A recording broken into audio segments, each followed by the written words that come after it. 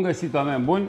Vreau să discut în această emisiune despre legea educației, pentru că cu domnul uh, deputat Onuț Atanasiu, bine ați revenit în studioul nostru.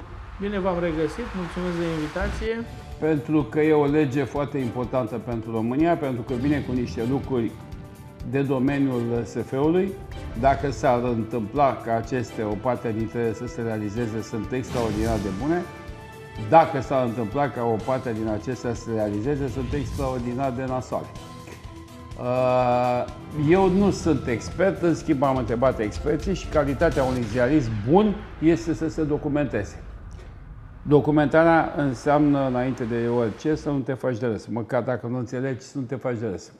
Așa că l-am adus pe domnul Onuț Atanasiu, el a zi, e și deputat și nu știu dacă este și un uh, coautor la această lege, habar n-am, ați băgat uh, ceva pe ea? Uh, haideți să vă spun că nu am avut acces la lege deloc.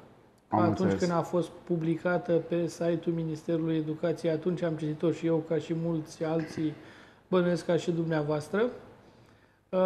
Eu nu sper să fie promovate doar o parte din inițiativele din această lege, ci cred că toată în ansamblu ei trebuie promovată și trebuie aplicată pentru a avea un rezultat final care, spre deosebire de alte domenii aici, rezultatele se văd cam în 10-15 ani, adică după ce o generație intră undeva la clasa pregătitoare și trece prin toate etapele despre care vorbește această lege, pentru ca la final tânărul care atunci, acum 15 ani, a intrat la clasa pregătitoare, după 15 ani finalizează cursurile universitare și este angajat la o firmă la pe care el și-a dorit-o sau în Domnul funcție Atanasiu, m-am învățat cu dumneavoastră. Dacă vă las la o întrebare, vorbiți două ore. La fel ca Emil Străinu. Așa că încep abrupt. Vă rog. Uh, noua lege a educației, ca să poată să fie pusă în aplicare, are nevoie din stat de, 300, de 36 de miliarde de lei și, de, uh, și încă 300 de acte uh, normative. Antrenorul olimpicilor, mă refer nu la olimpici, la sport, ci olimpicilor din uh, lotul olimpic al nostru, de filozofie, de fizică, de matematică, tot ce se spune așa, pare un heirupism. Mai departe. Uh, doamna, uh, ce spune acest antrenor al olimpicilor? Uite că am uitat să fac. Elevii care vor începe...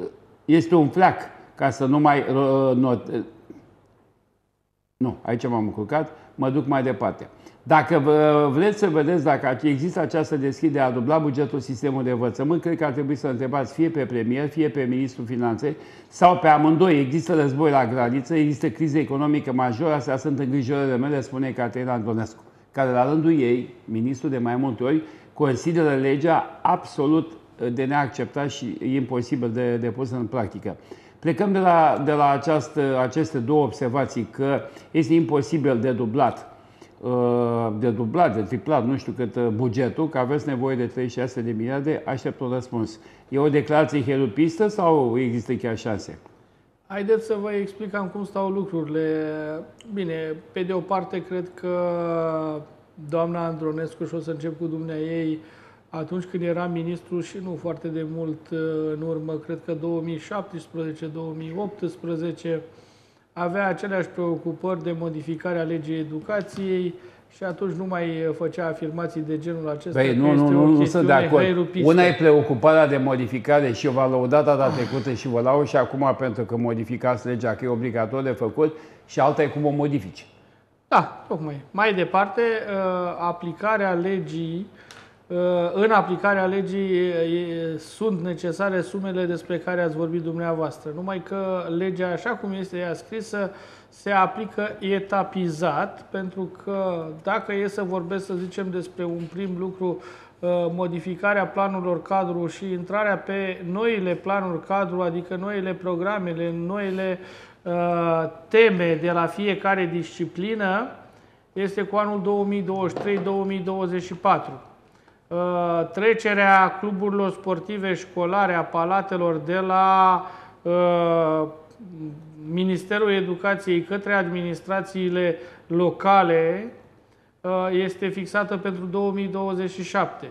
De aceea vă spun că în cadrul acestor, uh, acestei legi lucrurile se vor face etapizat. Legea e una, materialele subsecvente despre care ați vorbit dumneavoastră sunt altele și, într-adevăr, necesită timp pentru formularea acestora, numai că ele se pot da prin ordine de ministru, nu e nevoie de o lege pe care să o votăm în Parlament. Pe de altă parte, v-aș spune așa că nimic nu este perfect, totul este perfectibil, de aceea legea este în dezbatere și nu este promulgată și nici nu este asumată sau trecută prin asumare în Parlamentul României. Sigur că din partea partenerilor de coaliție așteptăm pe de o parte uh, sprijin în Parlament, pe de altă parte uh, modificări sau propuneri de modificări acolo unde consideră dumnealor că este cazul. Nu, opriți-vă Așa o secundă. Cum... Gata, am înțeles. Etapizat și o să aveți bani. Nu o să aveți. Uh, și uh, s-au făcut un calcul de către profesori din Galați și mi-au zis, mi-au dat o școală, nu spun care, cu mărirea acum, care o școală care are 300 de elevi și a ajuns la 1 miliard 400 pe an cheltuieli cu anul calendaristic. Cum căldura e și ea 150-200 de milioane pe lună, în 5 luni cheltuim un miliard, a spus. Spun că ne mărește finanțarea cu 75%. Ha, ha, ha! Vis-a-vis -vis de ce au cerut, iar cei de la primărie diminuează bugetul. Da, uh, partea de finanțare a unităților de învățământ cuprinde trei uh, uh, parteneri, să spunem. Finanțarea de bază este asigurată din finanțarea per elev, adică în funcție de numărul de elevi primește o sumă, sumă care se va mări, așa cum ați spus dumneavoastră, pentru fiecare elev există o creștere propusă în proiectul de lege de 75%. Există o finanțare complementară de la UAT-uri, adică de la primării. Și aici insist pe faptul că cei care își asumă ceea ce înseamnă întreținerea unității de învățământ, încălzirea, plata iluminatului și așa mai departe, sunt UAT-urile. E foarte adevărat că pentru un UAT mic uh, dintr-o comună păi, de la marginea județului, uh, poate că fondurile nu sunt în momentul de față uh, suficiente. Dar niciodată nu poate să-mi spună cineva că unitatea respectivă școlară a rămas fără căldură sau fără lumină pentru că au fost tăiate, eu știu, de către distrigaz sau electrica lumina, respectiv gazul. Ok, până acum. Până acum. Dar nu vom vedea. Deci, practic, încă suntem în aia cu bugetul și vreau să vă spun că sunt foarte mulți specialiști care spun același lucru, niște promisiuni care par a fi greu de îndeplinit. eu, eu, ce... sunt, eu sunt de acord cu dumneavoastră că sunt foarte multe promisiuni, numai că dacă nu ne asumăm atât partea uh, referitoare la elevi și la modul de pregătire a acestora, pentru că așa cum este în momentul de față, suntem de acord cu toții că nu poate continua școala da. la modul acesta. Da. E foarte adevărat că partea politică trebuie să-și asume că cheltuielile pentru educație sunt mult mai mari și nu neapărat pentru că ar fi necesară și este necesară o creștere salarială în domeniul educației. Dar nu din această cauză cheltuielile sunt mai mari. Așa cum ați menționat dumneavoastră, cheltuielile sunt mai mari din prisma celor ce se întâmplă la nivel global. Creșterea prețului petrolului, creșterea prețului gazelor, creșterea prețului energiei electrice. Sigur că țara asta are o șansă dacă va deveni o țară care își va baza pe educație creșterea sa socială și economică. Dacă păcate... în continuare vom trata educația ca cenușăreasa României, nu vom reuși să facem nimic și din păcate, domnule Stancu, E, da. elevii noștri se vor pregăti și se pregătesc mai bine nefolosind instrumentele pe care le oferă astăzi școala. Ok. Foarte frumos, foarte corect, foarte adevărat. Hai să vedem concret. Și o luăm, uh, că nu vă las în uh, emisiunea asta sub nicio formă, ne aveți uh, alt specialist lângă mine pe care să-l bombardez cu întrebările astea, vi le adresez. Deci, e, să ne înțelegem, Câjraie, nu? Vreați? nu, vreau să Continuați, spun că ia. Geraie, uh, Casa Corpul Didactic și nu mai știu care din ele, cluburile sportive, se dau la primărie, din punctul se desfințează Nu, postul de haideți să direct- le luăm, haideți să Sta- luăm sta- bărând. sta- Stați un pic. Vreau să spun, după aia n-aveți decât să spuneți ce vreți, vreau să spun că măsura, din punctul meu de vedere, cu toate protestele din țară, e perfectă. Este absolut perfectă. Punct. Vă ascult. Da. Vreau să vă spun că centrele acestea județene de resurse și asistență educațională, unde se regăsesc psihologii școlari, eu cred că uh, există o, o modalitate nu bună, foarte bună și un motiv, nu un motiv, hai să spunem, o necesitate ca acești psihologi așa cum își propune această lege, să nu fie mai puțin de 1 la 500 de elevi și aceste centre să se regăsească în unitatea școlară ca de fiecare dată când avem un caz, ca de fiecare dată când un părinte dorește ca copilul lui să stea de vorbă cu un psiholog școlar, să nu fie necesar să sunăm la câjraie, să trimită un psiholog care să vină peste o săptămână.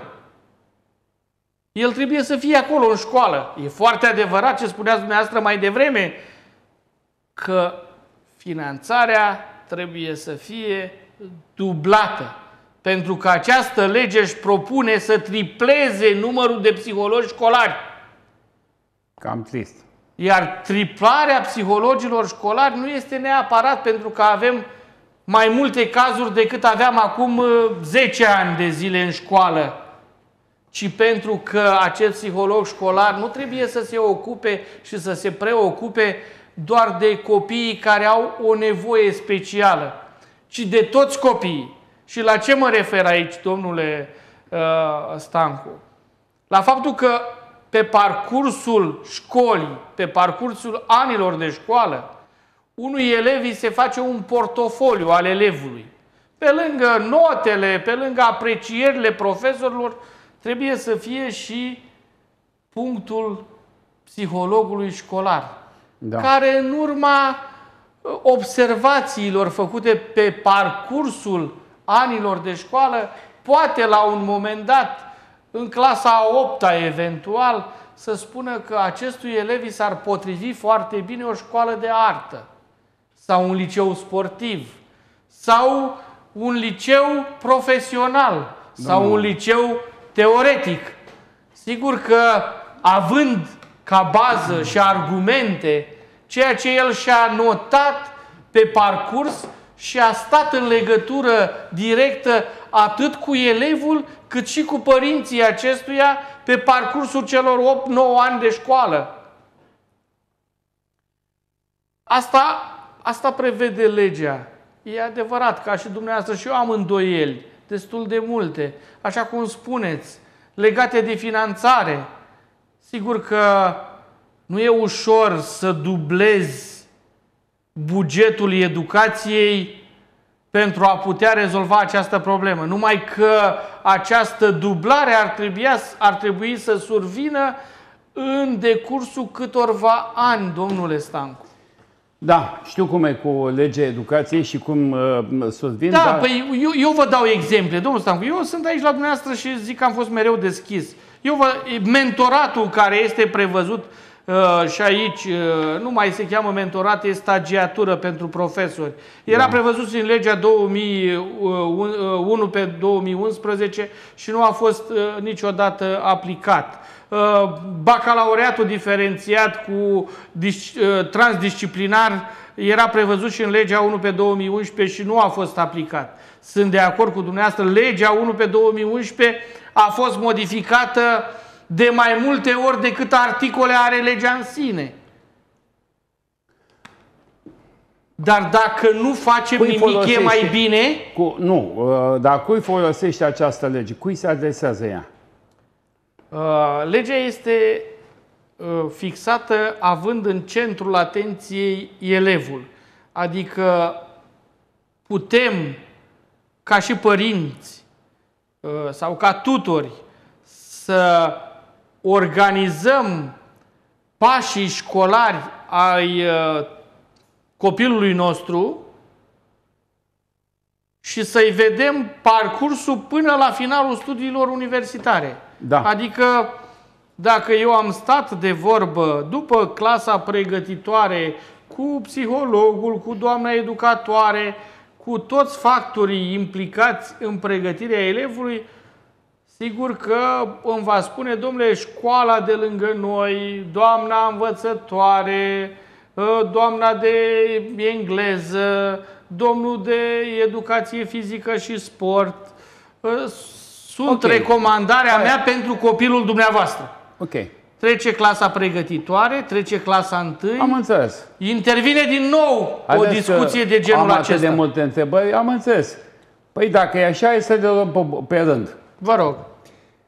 Ce spune domnul Funeriu? La nivel de sistem trebuie să trecem urgent la un sistem inspirat din sistemul german, nu la cel francez pe care îl avem acum. De ce? Pentru că în sistemul german, care din punctul meu de vedere este cel corect, încă din clasa 5-a, avem niște rate educaționale diferite pentru copiii care au vocația să meargă către universități și bacalaureat și copii care au vocația unei pregătiri profesionale de calitate. Da, din, hai să spunem, nu din păcate, nu știu, eu îi dau dreptate domnului Funeriu, numai că o astfel de schimbare nu cred că ar fi fost acceptată nici de români și nici de sistemul educațional. Bă, dar cine sunt românii? Că la ei în țară sunt popoți de musafir. Cum să... Nu, nu, mă face să... Gândiți-vă că, ăștia, că ies în stradă, românii, că... românii și părinții în general au cerut prin memorii nenumărate să se scoată acel examen de la clasa a patra pentru clasa a cincea de la colegiile naționale, ce ar fi fost să se aplice ceea ce spune domnul Funeriu că este aplicat în, Germania. în uh, sistemul german? Bun. Păi ar fi fost, cum să vă spun, revoltă socială. Normal. Când e Dar ceva... v-am spus că îi dau dreptate, sistemul german legat de această perioadă a vârstei, 10-11 ani, unul unul bine adecvat situației actuale și a deschiderii pe care o are copilul astăzi la 10-11 ani. Din păcate, din nefericire, părinții trăiesc încă în lumea lor de acum 20-30 de ani de când au fost ei la vârsta de 10-11 ani. Haideți să, să vin cu despre lege alt lucru pe care l-a zis Funeriu. Esențial pentru calitatea la școală iar un lucru care nu se spune este de fapt ce se întâmplă în clasă. Și atunci aici trebuie făcute câteva lucruri vechi de când lumea. Unu, aduci profesori buni în clasă, dar pentru asta trebuie să-i formăm bine. Și aici avem problema universităților care, în loc să facă programe de formare universitară pentru profesori de tot fac tot felul de bălării, am auzit acum un master de egalitate de șanse la Universității României. N-am auzit așa ceva, dar dacă există master la bravo nouă. Suntem cei mai deștepți din pământ. Doi, după ce am format profesori, trebuie să-i selectăm corect. Ori aici sindicatele fac o mare presiune pentru menținerea sistemului actual de selecție care este defect. Eu am propus și vă spun sincer că am ajuns până la ministru să am discuția asta ca resursa umană din unitățile de învățământ să nu mai fie selectată prin intermediul inspectoratelor școlare. Bun. Ci resursa umană să fie selectată de către Bravo. instituțiile școlare, fiecare în dreptul ei. Bravo, ca afară. Sunt foarte de acord ca un concurs de tip concurs de titularizare să existe și să fie organizat de aceste direcții de învățământ județean preuniversitar, dar cu nota pe care o ia respectivul la acel concurs, e adevărat concurs despre care cred că face referire, de fapt, domnul Funeriu, Da. nu este unul care evaluează competența profesorului de a preda și de a se face înțeles la clasă, ci evaluează doar capacitatea profesorului de a avea cunoștințe despre disciplina respectivă, ceea ce e total diferit și inadecvat sistemului nostru. Da, păi e Dar clar. sunt de acord că uh, nu așa trebuie, dar trebuie un concurs care să aibă o altfel de evaluare, Bun. organizat acolo, ia nota profesorul și după aceea cu nota și cu CV-ul și cu documentele cu care Școala atestă să-l angajeze. școala, oricare dintre școlile din România, în orice colțișor al țării acestea, să poată să fie angajat. Trec la următoarea problemă. N-am ce să fac, avem multe. Vă rog. Zice, trebuie să-i plătim bine și aici am o sugestie foarte simplă. În loc să introducem o lege, acea minciună fruntată cu 6% din PIB, să introducem în lege faptul că salariul mediu al profesorului să fie 1,6 ori sau X PIB pe cap de locuitor. Și Așa este, nu e, nu e cu 6%, așa este modificarea. așa e este făcută modificată? cu referire la salariul mediu. Mediu, da. Da. Ok, atunci spune altceva și cu asta sunt de acord total. A trebuit să lungim cu cel puțin 5 săptămâni anul școlar. Avem cel mai scurt an școlar din întreaga Europa. Și nimeni nu va ști niciodată mai mult stând mai, pu- uh, uh, nu va ști niciodată mai mult stând mai puțin la școală. Apostolii lui fiind uh, uh, lui, hai să nu încărcăm copilul cu cunoaștere, aceștia trebuie combătuți pentru un copil german va fi stat, el tot pe sistemul german, va fi stat la finalul celor 12 ani de școală cu 2 ani jumătate mai mult decât un copil român. Deci să prelungim perioada de stat în școală cu cel puțin 5 săptămâni. Este, domnule, avem cea mai E- scurt e- an școlar din toată Europa. Inițiativa e bună, numai că, uh, spre deosebire de domnul Funeriu, eu am fost la catedră ultimii 24 de ani, din 25 de ani de activitate Da. pe care am avut-o. Și vreau să vă spun că, pe lângă acele activități, cele 35-37 de săptămâni, ca aici ne-am mișcat între 35 și 37 de Da. săptămâni de școală pe care le are sistemul uh, de învățământ uh, românesc. A, există de câțiva ani, chiar de pe vremea domnului Funeriu, uh, introducerea acelei săptămâni altfel. Dacă mă întrebați pe mine, nu trebuia introdusă în timpul anului școlar, putea fi lăsată la finalul fiecărui an școlar sau la finalul fiecărui semestru. De acum înainte, oricum, nu va mai fi vorba de așa ceva, fiind acele mini-vacanțe din 8, 8 săptămâni. Și ce nu știe domnul Funeriu, și bineînțeles uh, nu e universal valabil, e că activitățile nu se încheie odată cu finalizarea anului școlar. Și uh, vin uh, să argumentez acest lucru pe de o parte. Uh, În liceele care până acum s-au numit tehnologice, conform proiectului de lege, se vor numi licee profesionale. Activitatea se termină undeva după 12 iulie, adică undeva la uh, 39, 41, 42 de săptămâni. Adică există acea uh, practică comasată pe care o au uh, copiii din acest tip de învățământ.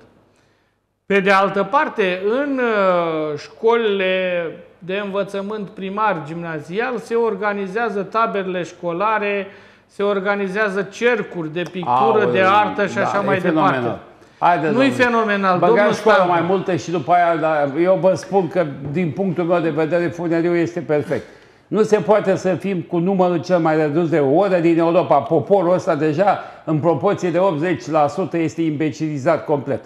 Ce să e părerea mea, n-au decât să mă dea în V-am judecată. spus. E părerea mea. Domnul Stancu, n-a Trebuie fost mai la multe catedră, ore de nu școală. știe, nu știe ce se întâmplă. Depinde. știe, da, păi numai că nu știm ce dumnealui se întâmplă. prezintă lucrurile Dar vreți să vă dintr-un pun birou. întrebările mele? Nefiind, nefiind la catedră, neștiind cu ce se mănâncă pâinea de la uh, de la nivelul unei clase de copii. Pentru că e foarte adevărat că avem poate mai puține săptămâni de școală decât în Germania, dar dacă o să vedeți, și acum, na, sunt nevoit să dau exemplu cu Colegiul Național Vasile Alexandri, păi eu nu cred că există mai mulți elevi care au plecat din timpul liceului, da, domnul Stancu, în Germania, în Franța, în Anglia să studieze da. și nu au fost apreciați mai mult nu dați decât un exemplu care nu merită. Pentru că e de la sine înțeles, este o axiomă sunt și lucruri formidabile. Asta este excepția care confirmă Domnul Stancu, au plecat elevii la sfârșitul Domnul, sau la lăsa, mijlocul clasei a 10 Lăsați-mă să vă Dar nu vă las că și la vă spun, să face carte. Ce treabă am eu Elevul respectiv primul la cel mai bun liceu din Belgia. Eleva da. respectivă prima la cel mai bun liceu din Germania. Da, trebuie făcută. Și copii care au studiat aici. N-au făcut mai multe săptămâni de școală mea, decât ceilalți. Pe vremea mea erau mai multe săptămâni de școală, da? Și acum avem cele mai puține săptămâni din Europa. Vă pun următoarea întrebare. De ce schimbăm? Păi, eu zic păi, așa, și... asta a, da, eu, eu înțeleg, nu, trebuie să, trebuie să vă explic că v-am spus nici dumneavoastră, nici dumnealui nu cunoașteți efect. Dacă un elev are 42 de săptămâni de la un liceu Hai să le scădem profesional, atunci. nu. Să mai scădem din Dacă îi mai punem 5 săptămâni, cât spuneți dumneavoastră, ajunge pe la an. 47 pe da, an. Da. Știți că el aproape că nu mai are vacanță? Rămâne la o săptămână sau două de vacanță, atât. E ok, aveți dreptate. Hai la să, învățământul profesional haide, haide acest să, lucru nici nu se poate modifica. Hai să facem, Sincer, exclus. Da, să facem uh, un an școlar care să fie mai mic decât vacanțele. Mie mi se pare că așa e normal. Nu, nu? nu? Uh, trebuie uh, ca activitățile pe care le desfășoară un profesor într-un colegiu național să fie popularizate și să fie uh, luate ca și exemplu de către toți din fiecare unitate de învățământ pentru a putea Bun, arăta că activitatea unui profesor nu se diferențiază de la o școală din uh, uh, o comună cu activitatea de la cel mai bun colegiu din uh, Bun. Galați. 10 teme critice Așa. Uh, necesare obligatorii măsuri stringente. 1. Cariera didactică și parcursul profesional al cadrelor didactice. Și anume, oamenii reclamă așa, flexibilizarea rutelor de acces în cariera didactică, cu respectarea unor standarde ridicate de selecție, admiterea în cariera didactică să poată face din, uh, atât din, uh, dintre teorie și practică, spre practică sau teorie, prin urmarea uh, prin urmărirea unor programe specifice de formare. Deci eu ăștia spun că această carieră didactică și parcursul profesional al cadrului didactice este rigid și încastrată niște lucruri care nu respectă niște standarde ridicate de selecție. Am mai discutat asta. Mă duc la management. Numai un pic, ca să, iarăși, să ne lămurim. Da. Practic nu este îngrădit nimănui dreptul de a ajunge cadru didactic. Nici acum, și nici în viitor. E foarte adevărat că pentru a putea ajunge la cel mai înalt nivel de profesor emerit, există niște pași pe care trebuie să-i îndeplinești. Noua lege spune așa, că, sigur, trebuie să fiu absolvent a unei universități, adică absolvent de studii superioare. Da. E, de aici începe, de fapt, activitatea Uh, didactică. Primul pas este să devii stagiar. Stagiar într-o unitate de învățământ. Ce înseamnă stagiar?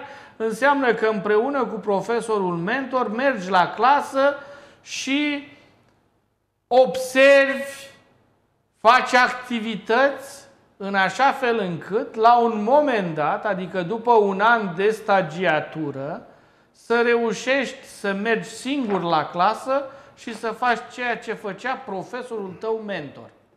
Deci, Pe cuvântul e... meu, dacă eu când am făcut școala am găsit profesor stagiar. Uh, eu am fost, spre exemplu, profesor stagiar, să știți. Nu se numea profesor stagiar, ci se numea partea aceasta de să didactica predării am fizicii. Înțeles.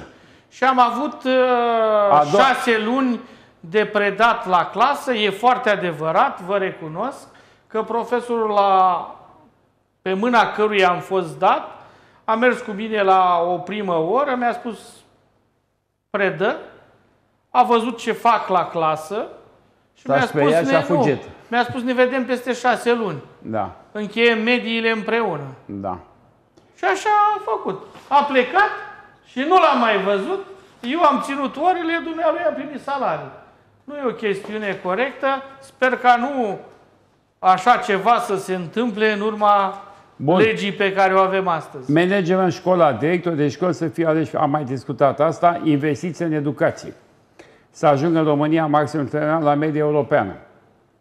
Uh, Curriculum și STEM, promovarea autonomiei curriculare care să permită școlii să poată personaliza. Asta ați vorbit mai înainte, ați discutat. E o, e o chestie de bun simț. Evaluare bazată pe competențe, da. pe termeni standardizați, să poată uh, măsura progresul elevă, sprijinirea școlilor care nu asigură progresul școlar. Alfabetizarea funcțională. Menținerea explicită în legea faptul că alfabetizarea funcțională depinde, devine cel mai important obiectiv de țară anual, sprijinit preferențial cu resurse până la atingerea de către România mediul european de evaluare a alfabetizării funcționale. La ce har au ajuns să leve că trebuie să avem uh, punctul cel mai important, uh, uh, educația inclusivă, Domnul Stăncu, hai să le luăm Digitalizare, deja, dacă înțevăm profesoari și doar și infrastructură. Dacă îmi dați Vă dau tot ce vreți dumneavoastră, numai că pot eu să sunt vă curios. Spun câteva lucruri ce prevede legea în sensul despre care ați vorbit dumneavoastră. Vă ascult. Alfabetizarea. Păi, sigur că își propune legea să avem cât mai puțin alfa, uh, analfabeți funcționali, pentru că pornim de la o rată de 40-44% de analfabeți funcționali. Trebuie să facem ceva și în sensul acesta. Sigur că ne propunem ca aceast, acest lucru să fie prioritar, pentru că procentul este unul îngrijorător. Mai departe, de ce digitalizare? Pentru că am văzut ce s-a întâmplat în momentul în care am fost nevoiți să apelăm la un învățământ digitalizat și nu eram nici noi și nici elevii, noi mă refer la profesorii, uh, upgradați cu ceea ce înseamnă a preda online și respectiv a învăța dintr-o predare online. Sigur că digitalizarea ar fi trebuit uh, din punctul meu de vedere, să fie și finalizată. Dar, pe lângă acea pandemie, am primit, eu zic, ce era și mai greu, un război lângă noi care ne face ca parte din banii de la bugetul de stat să fie folosiți uh, pentru diverse alte activități, scumpindu-se energia, cei mai mulți bani, uh, din păcate, sunt folosiți pentru uh, a compensa prețurile fie la energie electrică, fie la gaz și la motorină și benzină. Mai departe, ați spus așa, deci analfabetism funcțional, digitalizare Evaluarea și... bazată pe competențe am vorbit. Uh, investiții în educație am vorbit, după operarea mea sunt promisiuni care nu vor fi atinse. Curriculum și STEM. N-aș vrea să aveți dreptate. N-aș vrea, dar și eu nici, nici eu n-aș vrea. Culmea e că nu vreau nici eu așa ceva, dar nu cred. Infrastructură, învățământul profesional și dual, profesori de specialitate și tuturor de practică să fie angajați direct de unitatea de învățământ începând cu anul școala 2021. Eu v-am spus că da. mi-aș dori ca toți, nu numai tutorii și profesorii pentru învățământul tehnic să fie angajați de unitate. Deși cred că uh, ăsta ar putea să fie un prim pas și sigur că se va lua în considerare și această activitate. Eu uh, vă spun că nici acum nu există o restricționare sau o, un mod de a uh, nu ține cont de Uh, dorința unității de învățământ de a-și angaja un anumit specialist pe un anumit domeniu. Și am să dau direct uh, exemplu de la liceul auto, unde sigur nu uh, uh, ai specialiști în toate unitățile de învățământ, așa cum ai nevoie la liceul auto și aici mă refer la instructorii de practică uh, școlară auto și aceștia vin de obicei cu propuneri către inspectoratul școlar de angajare a diversor persoane care îndeplinesc condițiile uh, uh, de a putea fi angajați pentru a preda această disciplină. Uh, am aici o chestie pe Vă care rog. vreau să o rezolv. O am primit-o pe e-mail și dacă am primit-o pe e-mail... Ia să trebuie- vedem. Pe, uh, Ce pe, problemă avem? Da, o problemă foarte interesantă și anume, uh, bacalaureatul începând cu 2027, elevii de clasa 9 vor susține o singură probă scrisă, transdisciplinară, din disciplină precum limba română, matematica, științe, istorie și geografie și materie din alea socio-umane. O noutate ar fi decizia de a introduce în programul a gramaticii, de reintroduce a gramaticii pentru a susține abilitățile de comunicare și limba română, a doua pos- probă este, bineînțeles, cea de matematică. Aceste probe ar putea să aibă o pondere în proba scrisă de 40-50%. Oricum, împreună cu discipline de istorie și geografie, ar trebui să aibă o pondere de 60%, restul de până la 100% să fie verificarea competențelor de bază pentru celelalte discipline. Asta a fost precizarea domnului Câmpeanu. Ok. Cine e domnul Câmpeanu? Nu știu, poate spune asta. Este ministrul educației. Serios, eu credeam că Eu era vreau, cineva. eu vreau doar să vă spun că din informațiile pe care le dețin, Da? în momentul de față, cred că proba A va rămâne limbă și literatură română, uh, în care vor exista și elemente de gramatică, după care, sigur, vor exista și celelalte verificări la diverse alte discipline, cum ar fi limbă și comunicare și e vorba de verificarea uh, cunoștințelor de limbi străine, pentru că vor fi verificate două limbi străine pe care le-au studiat elevul sau le-a studiat elevul uh, pe parcursul celor patru ani sau chiar opt ani de studiu și, bineînțeles, o probă transdisciplinară despre care ați vorbit dumneavoastră, matematică, științe și geografie, istorie și așa mai departe. Acum aveți să-mi dați un... Vreți să mai spuneți ceva aici? Nu, spuneți dumneavoastră, eu vreau doar să adaug că există și o probă, o probă facultativă, Da? la care dacă vrei o dai, dacă nu vrei nu, nu o dai, dar la ce se referă? Eu să zicem că sunt un absolvent de clasa a 12 deși am terminat profil matematică informatică, eu consider că cel mai bine sunt pregătit la disciplina limba engleză. Da. Vreau să susțin o probă dintre asta astfel încât în urma examenului să mi se certifice faptul că la disciplina respectivă sunt cel mai bine pregătit. Sau unul dintre cei mai bine pregătiți elevi din liceu, din județ, din țară, fapt care să mă ajute pe mine la admiterea la o anumită facultate sau, sigur, doar din dorința de a mă uh, afirma posibilitățile mele de uh, uh, discuții în, divers, în limba engleză, pentru că despre acest obiect am dat uh, exemplu, uh, foarte, foarte bine. Bun. Avem Spuneți, un, am dumneavoastră. o, o întrebare foarte grea, Vă rog, super grea. alea, și, să- și acum cele să, mai grele sunt cele mai bune. Uh, Și bă, nu prea cred că o să vă facă mare bucurie. Ia să vedem. Deci instituția cheie în analizarea plagiatelor este desființată în proiectul legii educației. În plin scandal uh, de plagiat la adresa premierului Nicolae Ciucă, premierul acesta a validat proiectul de lege și va scăpa de analiza CNATDCU dacă Când legea acum? intră în, în vigoare. Este vorba de ARACIP-ul, care este desființat.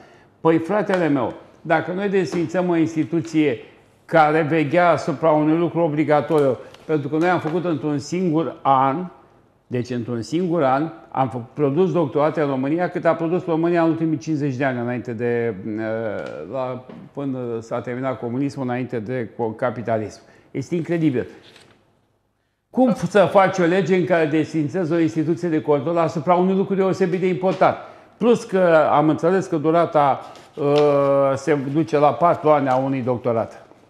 Deci recunosc că nu stăpânesc foarte Aha, bine partea de universitar, da. dar vreau să vă spun că pe parcursul celui un an și jumătate de mandat, de mai multe ori au fost introduse în cadrul diferitor legi amendamente care erau suspectate de către colegi parlamentari dintr-un alt partid politic că s-ar dori cu aceste lucruri să se șteargă, eu știu, între ghilimele, deși este nedovedit, plagiatul președintelui nostru de partid și al premierului. Dom'le, de fiecare dată, domnule Stancu, da. Partidul Național Liberal da. uimiți-mă. a votat pentru a nu trece acel amendament. Și veți vota și acum la fel? Și vom vota în continuare în așa fel încât instituții care să verifice aceste titluri să existe și nu numai aceste titluri. Dacă mă întrebați pe mine, eu cred că ar trebui la un moment dat și lucrul acesta l-am avut în discuție în cadrul Comisiei uh, de Educație de la nivelul partidului, da. ca doctoratele da. să nu mai fie plătite, că eu cred că acesta este principalul motiv pentru care se doresc aceste doctorate și ele să fie uh, plătite și obținute doar pentru activitatea de cercetare sau, sigur, pentru cei care își doresc să facă cercetări într-un domeniu și în urma rezultatelor pot folosi acele cercetări în diverse domenii sau chiar în domeniul în care dumnealui lucrează. Dar plata acestora, adică creșterea salarială undeva cu 15% dacă ai sau nu ai doctorat, zic eu că a făcut ca doctoratul un titlu de alt mintere, zic eu, foarte impunător, să devină o chestie prea uzuală și Domnul, prea la îndemâna oricui. Eu zic altfel că acel care are doctorat e firesc să aibă 15% la salariu, așa am înțeles că are în plus. Dar accederea la doctorat să fie făcută pe niște baze științifice foarte dure, o ce se întâmplă în momentul de față cu o acțiune de plagiat în masă, unii și-au plagiat propriul, propria lucrare. Ei habar n-aveau că n-au voie să ia. Adică eu, de exemplu, pot să scriu 10 romane, din care uh, din fiecare roman am câte jumătate din altul. Ei se cheamă autoplagiat. N-ai cum să faci. Faci altă ce Eminescu a scris o singură poezie și a inversat strofele între ele ca să fie una odată o de metru și o scris a cincea. Deci a devenit banal uh, doctoratul pentru că s-au urmărit banii. Trebuie să fie invers. Banul să fie o recunoaștere a faptului că prin mare, mare greutate și multă carte ai luat doctoratul. Eu v-am spus, părerea mea este că tocmai că urmarea Adică unui, dacă nu mai am... Uh, urmarea titlului de doctor da. se încasează aceste sume de 15% la salariu, face ca uh, doctoratul să fie atât de mult căutat, în loc să fie de fapt căutat doar de cei care își doresc să, în urma cercetărilor lor științifice să crească, să aducă un plus valoare în domeniul respectiv. Da, sigur, pot fi păreri diferite pe... Ceea ce nu știu eu și vă rog să-mi confirmați dumneavoastră, dacă este adevărat că da. se elimină filiera tehnologică și cea a liceelor economice. Nu. Liceele tehnologice nu se mai numesc licei tehnologice sau licei economice, se numesc licee profesionale cu gândul la profesionalizarea da. acestora. Ele au uh, o primă etapă de 3 ani, după ce ai obținut uh, cei 3 ani, ai obținut deja calificare nivel 3, poți să continui să faci anul 4 și atunci se consideră liceu și poți să mergi la studii universitare, dar dacă termin doar 3 ani, e ca și cum ai fi făcut școala profesională înainte. Deci se desfințează liceele tehnologice și economice. Nu. Păi eu zic că da. Se transformă în licee profesionale, ceea ce sunt și acum. Că licee, nu se cheamă adică... profesional acum, se cheamă liceu tehnologic sau liceu economic. A, a faci... Dar fac aceeași activitate și Trei acum ani. și atunci. Acum liceele economice au și, liceele economice au și partea aceasta de școală profesională. Poți să faci trei ani de școală profesională, după care dai niște diferențe și te muți la liceu. În schimb, viitoarea, Păi, adică tu ați desfințat, tată. Ai, ai desfințat liceul tehnologic și liceul economic, domnule bă, bă, ministru.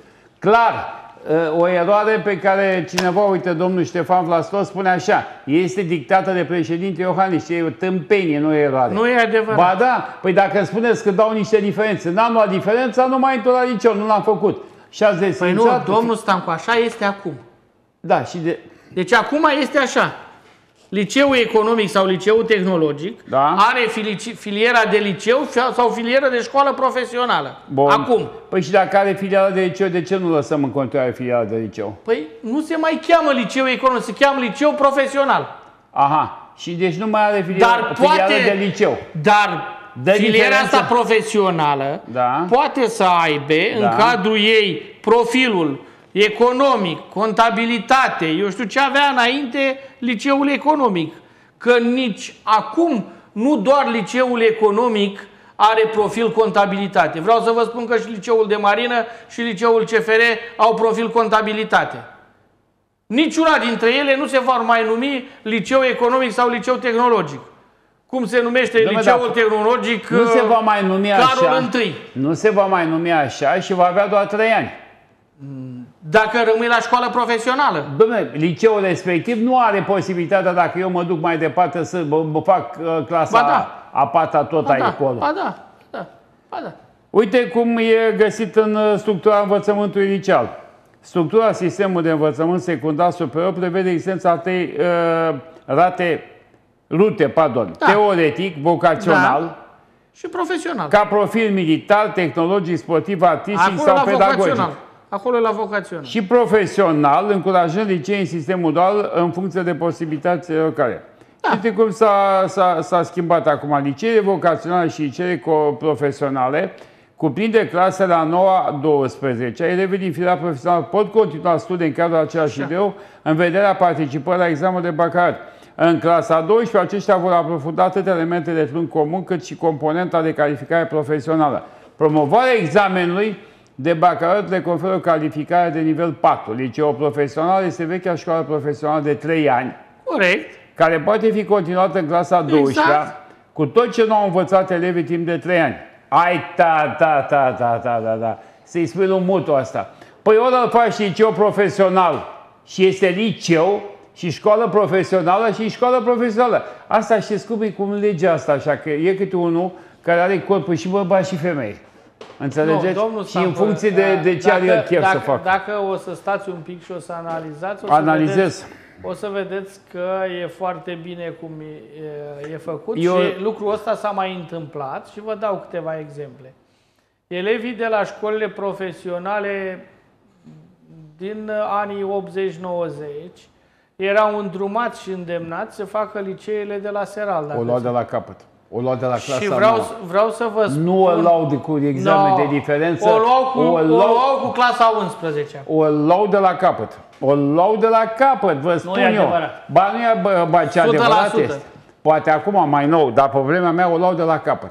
Nu dar luau. uite întrebări puse de la profesori, nu de la Așa, mine. Hai să vedem. Școala profesională produce viitor meseriași, nu viitori ingineri sau economiști. Ce este greu de înțeles în acest lucru esențial? Și atunci, viitorii ingineri și economiști vin din filiere teoretice și vocaționale? Nu. Păi e da. greșit. E o interpretare greșită. Dar care e? Păi haideți să vedem că și acum, și pe cine vă să vă dau? Pe Petre Lificiu? Petre Lificiu este absolvent de școală profesională, după care a făcut liceu, după care a făcut facultate. Îl sun acum? Da. Să-mi spună de, la, de când a intrat în liceu. În pauză sun. Nu știu, sunați-l în pauză, Îl chiar sun. vă rog. Da, imediat să nu uit. Să-l sun să-mi spună. Așa. Da. A deci eu făcut v-am dat într-adevăr școala profesională. Ați văzut. Da. Eu v-am dat un exemplu Da, așa da, da, foarte care bun. mi-a venit la îndemână. Dar vreau să vă zic că e aceeași posibilitate. Eu sunt la un liceu profesional, învăț, îmi termin cei patru ani de liceu Păi, uite și ce merg spui. pe, pe partea uh, de inginerie. Păi, stați un Dar pic. foarte Păi, de acord unde- sunt că și dacă termin un liceu teoretic, pot să merg pe parte de inginerie. Nu e neapărat să fiu inginer uh, în automatizări și calculatoare.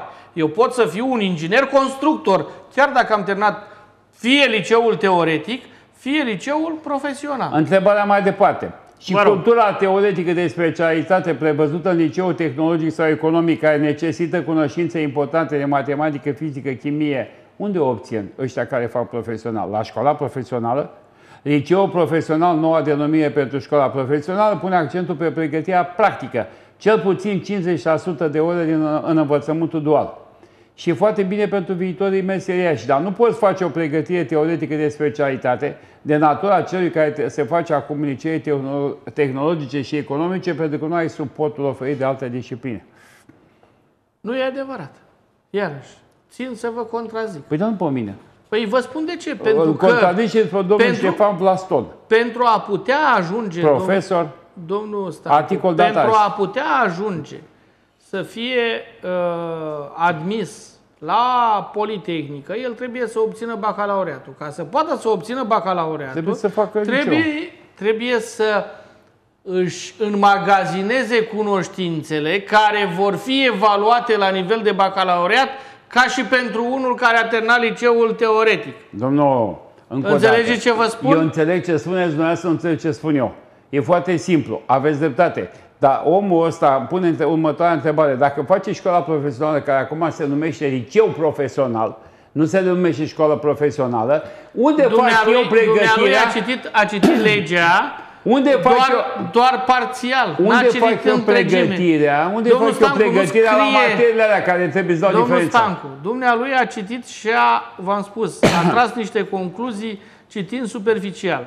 Păi, dar de N-aș ce vrea să- să fac mai mare. De ce să nu fac liceu în totalitate și să fac trei ani și după aia să dau Păi diferență pot să-l pregătirea în fac, privat, că în m-ați altă parte auzit, n-am. pot să-l fac și așa cum spuneți dumneavoastră, dar nu mi îngrădește nimeni dreptul... La fel și problema liceului economice. Dumnealui a, a asimilat liceul profesional din actualul proiect de lege cu școala profesională, ceea ce este categoric greșit.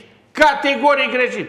Da. Liceele tehnologice le regăsim aici la liceele profesionale. Da. E adevărat că nu mai găsim Ah. ruta profesională. Aha, Și da, toți aici vor fi pregătiți trei ani de zile, da, primesc calificare Practică- nivel 3, practică sunt maximă. întrebați ce hotărâre iau mai departe Da. ei sau tutorii lor sau părinții lor Da. și împreună decid ce fac mai departe. da, Dacă urmează și al patrulea an din liceul profesional și Da. acumulează cunoștințele necesare pentru a susține examenul de bacalaureat, ba mai mult, îl și iau acest examen de Bine, bacalaureat, Bine.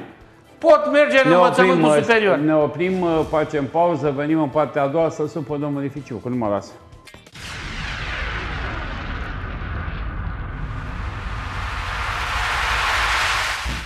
Am revenit cu domnul deputat uh, PNL, domnul Nuț Atanasiu. Continuăm disputa din prima parte legat de liceele profesionale și mă iau de liceul teoretic Vă rog, care în momentul de față se pare că nu vor mai fi pe lege, dacă se aprobă această lege așa cum este, nici teoretice și nici vocaționale. Rezultă că se vor transforma în licee profesionale, deși unele Cine? liceele teoretice se transformă în liceu profesional, deși sunt foarte căutate. Sunt pe pilona Universității Economice. Ce se va întâmpla cu aceste licee? De exemplu, liceul economic de prestigiu uh, N. Crețulescu din București va fi transformată în liceu profesional? V-am spus, Da sau nu? înțelegeți cuvântul profesional Domnul- într-un context Domnul pro- în care domnul profesor, îl domnul asimilați, deputat, mă ascultați, e transformat în îl, liceu îl profesional? asimilați cu cuvântul profesional din vechea lege. Cuvântul profesional, liceu profesional din noua propunere de lege nu are nicio legătură cu școala profesională din vechea lege. Și când eu termin, uh, câți ani fac în, nou, în liceu profesional? În liceul profesional pot să fac patru ani dacă vreau să merg mai departe și să obțin o diplomă Doamne, de cât, bacalaureat. fac, cât fac normal prima dată? Nu dacă vreau. Cât mă scriu? Cât fac? Trei ani, nu? Nu. Da cât? E la finalul celor trei ani. Deci faci trei am ani. o opțiune. și Domnul- acum, domnul Dom- Stancu, domnul- ai o opțiune. Da, Ai opțiune acum să faci clasa 12 Da. Când ești în liceu? Da, da. Păi e opțiune poți să faci numai clasa 9 că Nu, pleci. domnul Stancu. Cum adică nu. ai? Acum ai În opțiune? liceul economic de la Galați, ca Da. să nu dau exemplu de acolo. Da. Există ruta liceu și Da. ruta școală profesională. Da. Școala profesională, Eu în după liceu cei pro- trei ani de studiu, Domnul- poate face opțiunea elevul care a terminat cei trei ani de studiu, nivel de calificare 3, înțeleg de a greșit. merge mai departe cu liceul și de a finaliza Eu studiul. înțeleg greșit, lăsați-mă cum mai departe. Când mă scriu la liceu profesional, fac 3 ani sau 4 ani? În primul an, când fac cererea, când am intrat, când am, luat, am, am, am fost admis, câți ani fac? Trei ani. Ok, sunt profesional. A, am terminat cei trei ani, am o diplomă de nivel 3 calificare. Așa. Și după aia trebuie să dau niște diferențe ca să poți... Nu. Ba da, scrie aici. Nu. Dai diferențe ca să intri în anul 4. Nu, Dar nu, cum? nu, mergi mai departe, în anul 4. Fără ca să dai diferențe. Fără să dai nicio Atenție că aici scrie Da. altfel. Nu, Ba da? greșești. Po- e posibil. Cine scrie a greșit.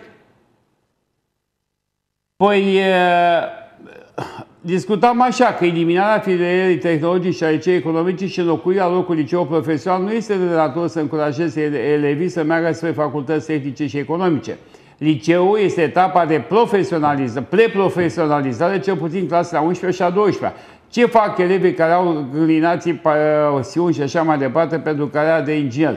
Se duc la școala profesională, Chiar dacă acum îi spune liceu profesional și după trei ani beneficiază V-am de... spus că vedeți cum, cum interpretează, Stați să vă spun- asimilează liceu profesional Dom'le, cu școală profesională, ceea ce este se total termină greșit. după trei ani liceu. E total greșit. Se termină după trei ani liceu profesional și ia o diplomă. Nu se termină. Se- Liceul nu se termină. Se termină școala profesională. Nu este absolvent cu diplomă de bacalaureat, este absolvent, nu-i mai spune de școală profesională, de liceu profesional Și nu cu poate nivel da 3 calificare. bacalaureatul decât dacă dă o diferență Dacă- să nu. intre în clasa 12 Nu, Ba da? nu, nu poate să dea bacalaureatul decât dacă merge și al patrulea an la școală, își completează toate competențele până când poate să ia examenul de bacalaureat și atunci este absolvent de liceu. A, își completează uh, toate competențe. Da. Adică într-un an de zile, el trebuie să-și completeze toate competențele pe care le-a pierdut în trei ani. Pentru că a mers la școală profesională. Din păcate, da. Păi atunci gata, ați ajuns la ce am zis eu. Nici Păi nu n-am mai trebuie. ajuns. Păi cum n-am ajuns? E, Eu- Din păcate, da. Păi gata. E, sunt implicații majore pentru un elev. E, bă, dispariția N-aș liceului zice, eu tehnice pot, și eu economice... pot să vă contrazic total Păi pe poate să partea ducă, domne, la, la, la, cu 50% la scăderea uh, celor care vor să meargă mai departe. Înțelegeți? Este ceva... Și ce se întâmplă cu profesorul care se desfințează în norme didactice? Crește numărul de ingineri și mai și instructori necesari în licee profesional. De unde îi luăm? Planul cadru și programele școlare uh, trebuie pregătite după apariția legii secundare, adică în iulie și august Domn- 2023. Acum nu se poate lucra. Nu știu niciun domn. Eu văd Domnul că am avut Stan. dreptate în final. Domnul Stancu, în iulie 2023, Da. deci până în iulie 2023 mai e un an. Pe lângă anul Au, respectiv, dacă te faci începem un cu primul an. Adică nu am atât de mare nevoie, pentru că cei care sunt astăzi în liceele respective pot acoperi pentru primul an de studiu. În 2024-2025 va fi al doilea an, adică abia vor fi primii doi ani din aceste licee profesionale. Da, sigur, e, sistemul este unul destul de conservator, acceptă cu foarte mare greutate orice schimbare. Nu e adevărat. Vom vorbi... Nu e adevărat că se acceptă cu mare greutate schimbarea. Că uite acum că m-ați enervat. Hai, pentru cine face schimbarea? Hai să vedem acum. Hai să vedem, pe, pentru, pentru cine, cine facem schimbarea. schimbarea. Bun.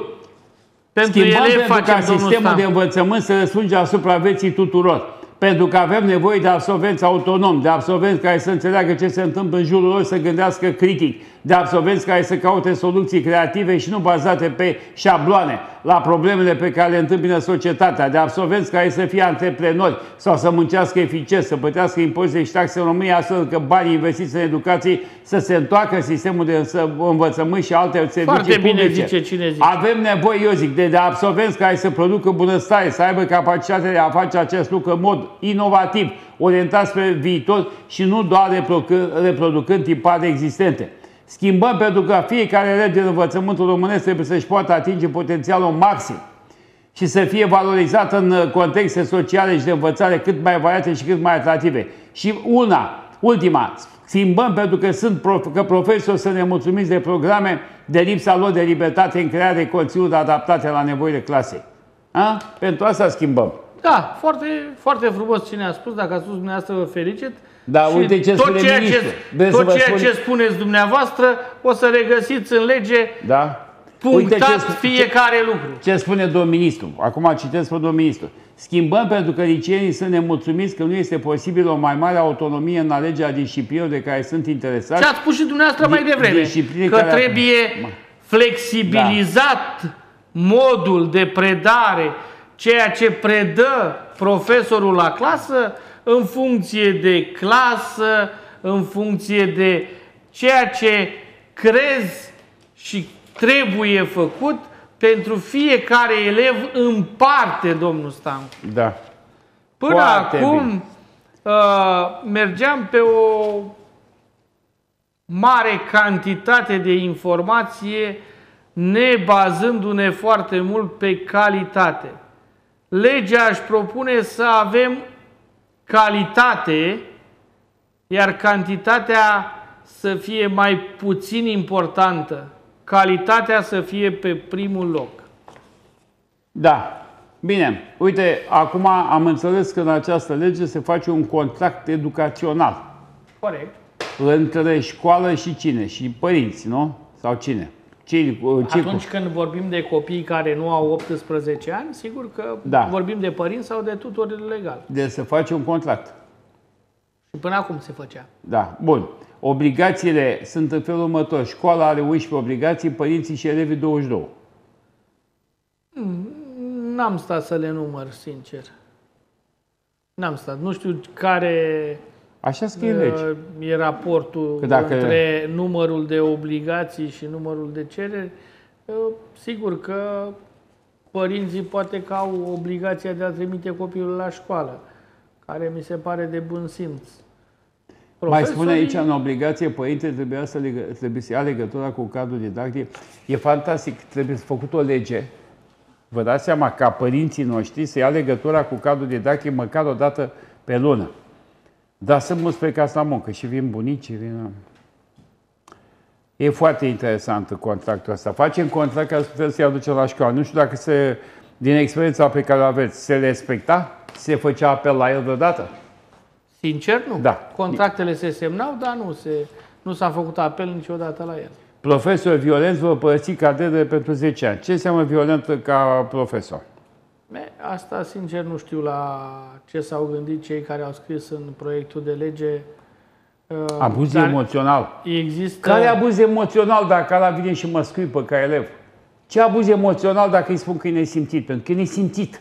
Ce abuz emoțional? A fost aici, pe locul ăsta, Hatem, Abu Dhabi. Hatem Abu Dhabi este unul dintre cei mai importanți tineri din uh, Yemen, care studiază medicina dentară în uh, Galați și care îmi spunea că la școală bătaia este principalul mijloc de educație. Nu sunt de acord cu, cu chestia asta. Nu sunt de acord, dar pe vremea mea așa era. Și că dacă îi spunea lui tata că m-a bătut diligentele, ce caftea l luat de la el, tăceam, nu scot, de la tata, vreau să spun mai de două decât mă bătuse. Și el la fel vorbea. și spunea că nu există abuz emoțional și că se învață catenement, 25 de milioane de locuitori ale Meno, se învață cate de ceva de neimaginat și mai spunea ceva. Spunea că cea mai grea probă din bacalaureat, la bacalaureat sunt 8 probe, învățământul de 12 clase, bacalaureatul este ceva spaima spaimelor și în spaima spaimelor la aceste 8 probe, cea mai mare spaimă este limba arabă. Zice, am luat 9 peste tot și la limba arabă a luat 8, dar a fost foarte fericit că a luat 8. Deci da, a muncit fantastic. Limba arabă. Asta este apropo de faptul că limba română este considerată de către UNESCO, un patrimoniu UNESCO, locul 8 în toate limbile posibile și imposibile din lume. Înțelegeți? Locul 8. Deci, abuzul emoțional este foarte greu de, de... Adică un copil vine drogat la școală, un copil poate să fumeze, un copil... Și eu, profesorul, trebuie să am asemenea calități încât să-i spun ala care e fumător de țigară să nu jignesc că l-am abuzat emoțional. Este o formulă prin care stăm, trebuie să chemăm un specialist care să asculte ce s-a întâmplat și să ne lăsăm pe mâna specialistului, care poate fi la rândul lui un neprofesionist, un nepregătit, un dobitoc, să nu înțeleagă nimic și să dea o decizie în care îl mâncă pe pereți și pe tată, și pe profesor, și pe elev. E, trebuie eliminat chestia asta din uh, lege. Abuzul emoțional, serios, se știe asta, sunt și condiții legale ca să, să-l dai judecată pentru abuz emoțional. Nu trebuie să stabilești în legea învățământului. Asta mi se pare un pas mare de tot înapoi. E părerea mea personală și nu o schimb chiar dacă vin îmi dați 2000 de SMS-uri împreună cu domnul Onuț Atanasiu și spuneți că nu sunt de acord. Violența fizică, ok, dar abuzul emoțional. Și de ce trebuie să bagi în legea educației violența fizică și abuzul emoțional când există legi pentru treaba asta? Separat. Violența Aici fizică sunt de acord cu și la locul de muncă, la mine, la Aici televiziune. sunt de acord cu dumneavoastră. Dacă ne batem între noi, și aia de la mediu, Galați, care s-au putut între ei, a făcut dosar. Da? Subalternul cu uh, uh, Tudoran, cu, nu mai știu cum mă cheamă, pe, uh, s-au făcut dosar pe... Ce, de ce să bagi așa ceva? Asta e, trebuie, cred eu, nu știu, trebuie eliminat complet asta put în pericol sănătatea, integritatea, în abatere și la grave. Sunt de acord cu dumneavoastră că nu era nevoie să fie în lege așa ceva. Există în legea... Și contractul uh, de muncă și peste tot există. Există lege pe parte de justiție care tocmai uh, uh, stabilește acest lucru. Da. Asta e prima dată că suntem de acord, dar am mai fost de acord. Uh, nu este un lucru. Am înțeles că se merge, legea are un sistem dual. Are nu, niște... există și posibilitatea ca liceile profesionale învățământul să fie de tip dual. Am terminat cu liceu profesional. Da, nu, doar v-am spus că există posibilitatea și acolo de a fi învățământ de tip dual. Da. Există în momentul de față, adică există o lege pentru preuniversitar și lege de, pentru universitar. Lege. Da, Două, da. O, da. Și e o separare binevenită din punctul meu de vedere, pentru că una sunt niște condiții și alta sunt alte condiții. Uh, legea și în, și în legea 1 pe 2011, dar și în uh, actuala lege, uh, autonomia universitară este, eu zic, uh, crescută în noul proiect de lege comparativ cu legea veche și aici, vis-a-vis -vis de modificări, da, cred că la asta ați vrut să faceți referire, există posibilitatea învățământului de tip dual și la universitate, așa cum este el și în învățământul preuniversitar, adică să existe parteneriate între universitate și parteneri sociali, respectiv întreprinderi mici și mijlocii care uh, pot uh, veni și sprijini actul educațional, uh, subvenționând o parte din bursă, asigurând de fapt o bursă suplimentară care nu va fi mai mică decât cea acordată de, de către universitate și mai mult vor pune prin aceste parteneriate la dispoziție uh, tot ceea ce înseamnă uh, bază, infrastructură a firmei respective pentru a ca tânărul uh, student să poată să facă practică la uh, instituția Domnul, respectivă. Mă refer aici la un, uh, să zicem, uh, atelier uh, mecanic, unde inginerul mecanic stabilește diverse activități și așa mai departe. Sigur că studentul poate învăța de la acest tutore partea de activitate propriu-zisă pe care o va desfășura după terminarea facultății. E, primesc aici și îmi spune așa, domne, au scăzut numărul de uh, absolvenți la BAC, nu absolvenți, de prezență la BAC. Da. Uh, și în același timp mai spune, uh, acum vreau să spun că a scăzut, e într-un fel fire să scadă, pentru că a scăzut și calitatea învățământului, au scăzut și numărul elevilor. După ăștia care iau bacul cu note foarte mari, pleacă toți. Toți. Majoritate. Dacă mai rămâne unul, e mare lucru. După aceea, soluția Universității din România a fost o cursă spre fundul sacului, scăzând tot mai mult standardele pentru a putea capta și păstra tinerii care pot fi încatrași. Examenele de admitere au fost înlocuite adesea cu un concurs pe bază de dosar și poate interviu. Au dispărut treptat examene de finalizare a studiilor.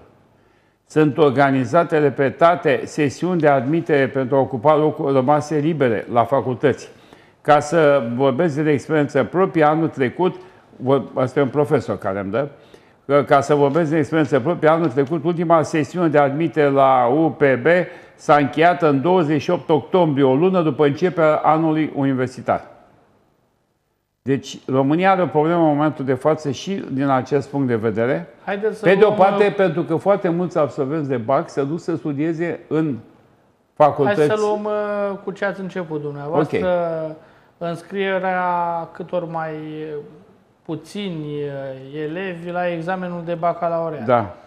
Sigur, există mai multe variabile uh, la mijloc. O primă variabilă este că în prima sesiune pentru că a doua sesiune uh, a început de fapt, dar de drept ea este uh, cu probele scrise pe 16, 17 și 18 august, adică săptămâna viitoare. Uh, de ce nu s-au înscris în prima sesiune? Pe o parte dintre ei au fost corigenți, o altă parte n-au avut situația școlară încheiată la toate disciplinele, deci Teoretic îi vom regăsi pe cei care își doresc să dea examenul de bacalaureat, dar n-au avut situația școlară încheiată, îi vom regăsi în a doua sesiune de bacalaureat prezenți la acest examen. După aceea, o parte dintre ei, și aici mă refer la cei care au făcut uh, domnul Stancu învățământ de tip seral, frecvență redusă, uh, ei uh, nu și-au propus din momentul în care s-au înscris la acest tip de învățământ, să dea examenul de bacalaureat. De ce? Pentru că ei își doresc să meargă mai departe să facă o școală de maestri, unde nu este necesară uh, diploma de bacalaureat. La școala de maestri necesară? Nu, nu mai este, rău. nu. Deci poți Chiar să faci școala rău. de maestru, poți să faci uh, școala de asistent, școala postliceală sanitară. Foarte rău fără să ai diplomă de bacalaureat. Deci să ai 12 clase, dar să nu ai diplomă de bacalaureat. Foarte rău. E, de aceea o să După vedeți... Aia vorbim că am, poporul votează nu știu cum, am, gândește am, nu știu am, cum, am, când el e format prost la școală. Am o statistică vis-a-vis -vis de lucrul acesta, nu am la mine, cu câți dintre uh, elevii care au terminat 12 clase pe fiecare tip de filieră nu s-au înscris și vă spun uh-huh. cu siguranță că cei mai mulți care nu s-au înscris sunt cei de la, adică uh, în medie, cei de la seral și frecvență redusă s-au înscris la bacalaureat cam 10%. În schimb, cei de la zi, într-o proporție covârșitoare, adică raportul e undeva invers, 90% s-au înscris și 10% nu s-au înscris. Și v-am spus și care sunt uh, motivele în principal. Uh, e foarte adevărat că dacă termini o școală postliceală sanitară și nu ai bacalaureatul, statutul tău într-un mediu dintre acesta spitalicesc sau uh, la un cabinet nu este același și nici salariul uh, implicit nu este același cu cel al unuia care a terminat uh, liceul cu diplomă de bacalaureat și a făcut la facultatea de medicină, spre exemplu, de la Galați, uh, asistenți medicali. Salariul este uh, mult mai mare decât cei care au terminat doar școală postliceală sanitară. Haideți să vă spun niște lucruri vă interesante rog. Le aștept. legate de ziua de azi. Vă rog. Uh, și a existat o ședință a coaliției, am înțeles, uh, pentru că există o serie de miniștri pe o listă neagră pentru o posibilă viitoare remaniere. Printre ei se găsește și actualul ministru al uh, uh, educației, domnul Câmpeanu, care a propus, a sprijinit, a inițiat, acum nu să știți mai bine decât mine ce a făcut cu legea asta, uh, în capul uh, proiectului a noii lege uh, de educație. Ei bine, această lege îl nemulțumește, așa se spune surse, nemulțumește pe domnul președinte. El nu ne, mulțumește, el ne mulțumește până foarte tare, ne dă din plin. Și zice că este o vulnerabilizare a premierului Nicolae Ciucă cu introducerea chestia cu desfințarea pentru cu plagiatul, chiar ceea ce am și zis, mai ales în condiții în care domnul Ciucă este văzut de principalul candidat la președinția PNL, susținut de Iohannis. Și întrebat dacă va fi sau nu va fi remaniat de către TVR, domnul Câmpeanu a zis așa, prin întrebarea dumneavoastră dezamăgesc pe acești interpreți populari. Oricât de mult mi-aș dori să am o viață mai liniștită, mă tem că, nu voi, nu, că sunt nevoit să-i dezamăgesc. N-am înțeles nimic ce a vrut să spună. Eu a vrut să spună că nu va fi remaniat. Da, da, uite, da. spune aici a subliniat că modificările propuse pe noua lege educației presupun și o frică de schimbare care generează reacții. Ok, are dreptate. Orice schimbare generează reacții. Nimănui nu-i convine. Am spus că da. e un sistem conservator. Da, zice domnul Câmpeanu, printre reacții avem și astfel de zvonuri. Poate că știu eu mai bine decât știu eu. Poate că știu ei mai bine decât știu eu. Cine știe? Posibil și asta. Deci a încheiat în coadă de pești, domnul Câmpeanu, a zis, domnule, cine știe, posibil și asta. Iar da. ieri, în cadrul unei dezbatere pe proiectul de lege educație, Sorin Câmpeanu a spus referitor la o posibilă ă, tăiere a bugetului educației, că sigur nu se poate adeveri așa ceva. A explicat că toate modificările propuse în, ă, în proiectul de lege pe legea învățământului majorează impactul bugetar actual dar vreau să vă spun că de întâmplarea cu remaniera a avut-o pe 8 august, noi suntem pe 10 august astăzi. 11. Sau 11 august astăzi, suntem 3 zile. Uh, materialul care ne face comentarii la toate aceste 3 uh, zile anterioare au fost uh, publicate astăzi. Deci, sunt tot felul de lucruri care nu sunt știe în ce măsură. Vedeți că legea asta se pare că l-a nemulțumit și pe președinte Iohannis pe aici pe acolo se pare că poate să-i atragă destituirea domnului ministru. Vă întreb oare dacă domnul mm. Câmpeanu e modificat de pe listă, e schimbat de pe listă, se poate întâmpla ca legea să se oprească, să fie sub altă formă? Domnul Stancu, legea este perfectibilă. Așa cum v-am spus, nimic nu e perfect, totul este perfectibil. Eu sincer vă spun că voi aduce amendamente la această lege.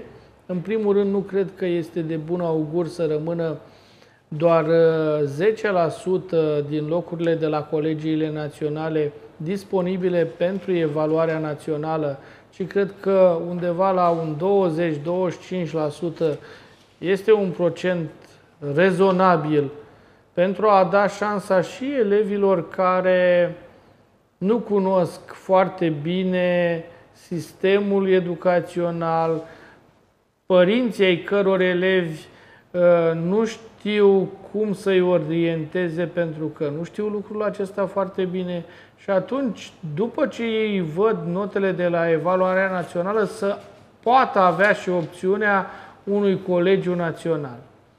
Uh, sigur că mă gândesc și uh, am și alte propuneri legate de acest proiect de lege, dar aștept și cred că în urma dezbaterilor pe care le-a avut atât domnul ministru cât și cei de la nivel de minister, uh, vor fi modificări ale proiectului de lege în așa fel încât uh, uh, cât mai mulți dintre cei implicați în acest sistem să fie mulțumiți și să poată uh, face această trecere de la legea 1 pe 2011 la noua lege cât mai ușoară și uh, cu cât mai puține piedici și obstacole pe traseu. Uite ce spune domnul Marga. Zice așa, câteva observații pe care le are el. Domnul Marga a fost și el uh, ministru al 1998. Da. Zice, continuă din nefericire obsesia evaluărilor și acreditărilor. Sunt prea multe în proiectul legii și ar trebui ca totul să fie legat prin lege și nu prin documente. Și se referă un articolul 19. Numărul de ore pe disciplină ar trebui stabilit între repere stabilite de lege, nu doar de către minister. Examenul de bacalaureat, numărul 76, fiind de taie națională, ar fi cazul de acum să fie reglementat de lege sub toate aspectele. Uite, asta mi se pare interesant. Ca examen de bacalaureat să... Dar nu e corect dacă ai lege educației... Și, și ce spune vis-a-vis -vis de, de numărul de ore poate să fie reglementat de lege. Numai că, uh, odată reglementat de lege, va fi destul de greu de modificat nu știu ce, ce ne dorim, o flexibilizare a legilor în așa fel încât ele să poată să fie uh, updatate pe măsură ce evoluează societatea sau să le îngrădim într-o lege și să le modificăm foarte greu prin Parlament doar. N-aș putea să spun care e soluția cea mai bună, dar cred că flexibilizarea poate fi făcută doar de, prin uh, a, a lăsa la nivelul ministerului, nu a trece în lege. În lege trebuie să treci principii, nu și metodologii.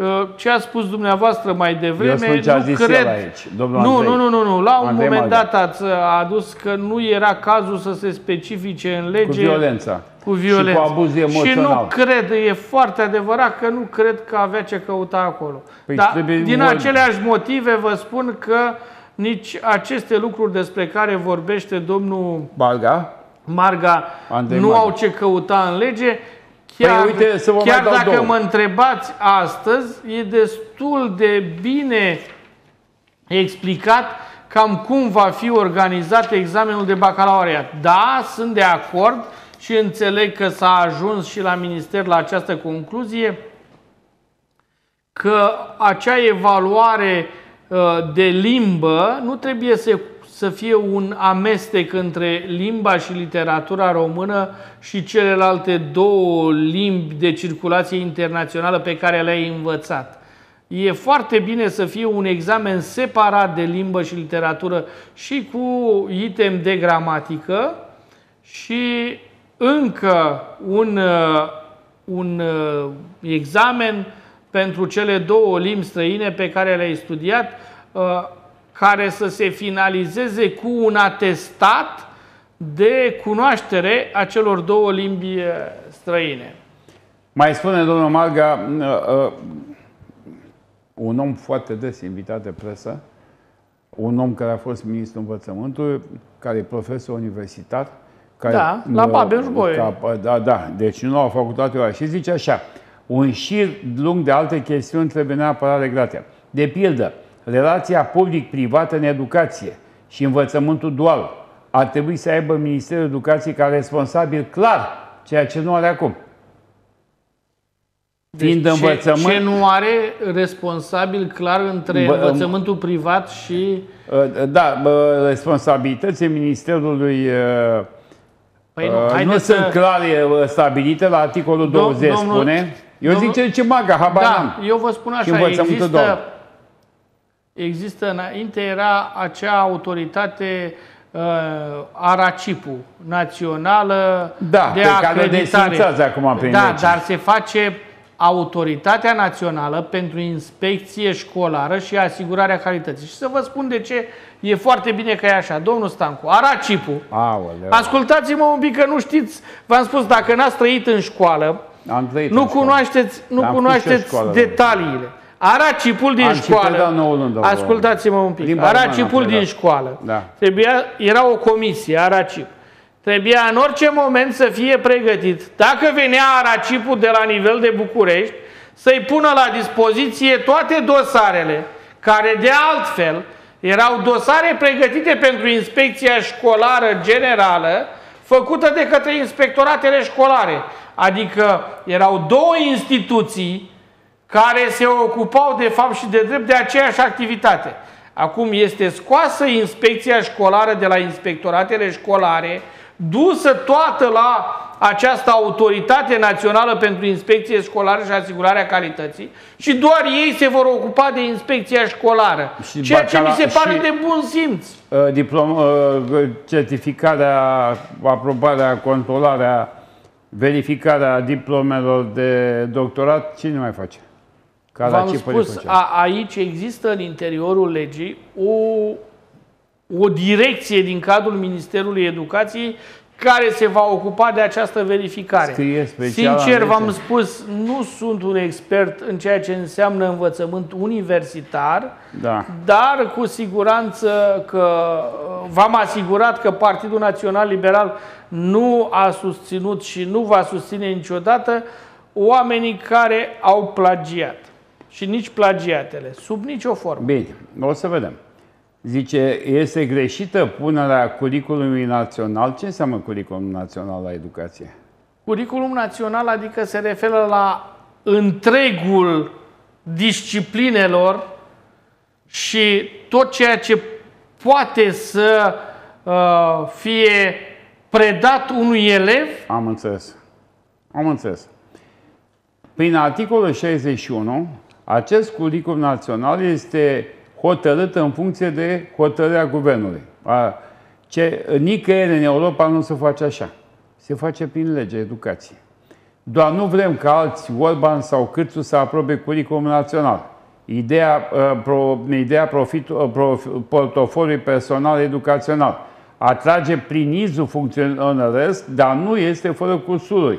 Orice elev putând atinge dezvoltări surprize pe traseul educația pentru viață este o idee slabă, căci persoana o formează discipline riguroase, nu prelucrări ideologice.